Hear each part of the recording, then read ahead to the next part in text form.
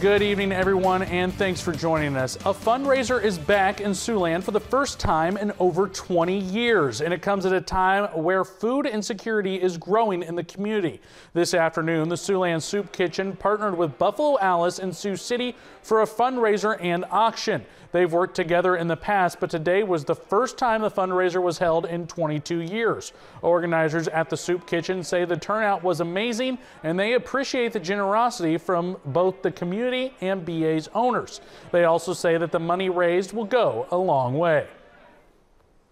In the last two weeks, we've doubled the number of diners that we've had, and we're having a really hard time keeping our pantry stocked. So with the money that we raise here, we can go ahead and buy more food to restock our pantry and keep feeding Siouxlanders. Some of the items included in the auction were a Yeti cooler, free facials, and car detailing, as all the prizes were donated by local businesses and community members. If you're interested in volunteering or donating at the Soup Kitchen, you can find more information on this story at KTIV.com.